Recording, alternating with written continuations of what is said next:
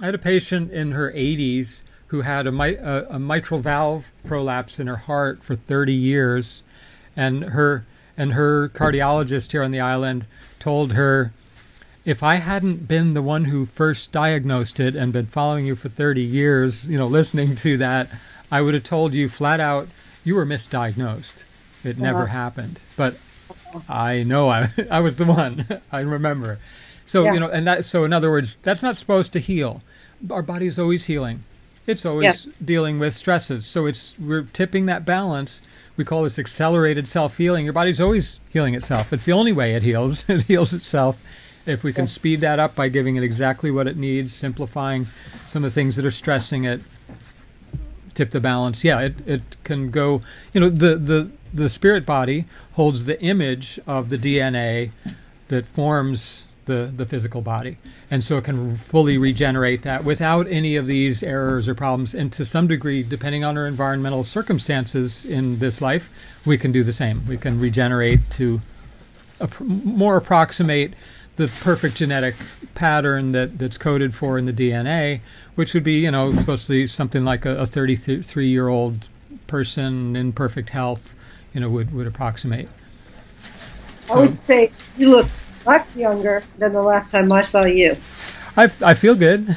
I was supposed Yeah. to be dead 18 years ago, so Were? yeah. I found out when I was about 30 that I was headed for an early death, you know, over 99% risk based on European blood tests.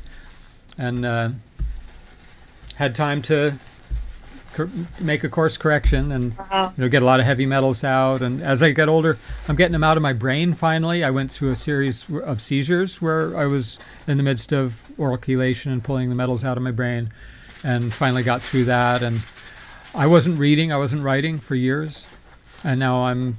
Uh, we have 12 books out in the last 2 years. We're going to be starting to teach a, a course, you know, here in another month or so, and you know, for practitioners, like starting the university, the you know alternative Yeah. approach to, to, to learning.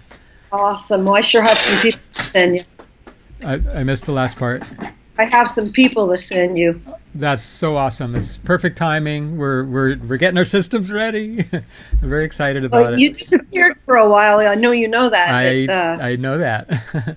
I literally dug a cave and a couple he, he couple dug of a, a foundation rock. holes by hand in, the- in the rock out here and you did? yeah that's how I I was starting to lose it you know on, I was too much on the computer and my body was not doing Yeah, well and was. my mind wasn't you know was just going downhill a little bit and uh, spending five years plus out in the jungle and you know pitting my body against nature did me good Yeah.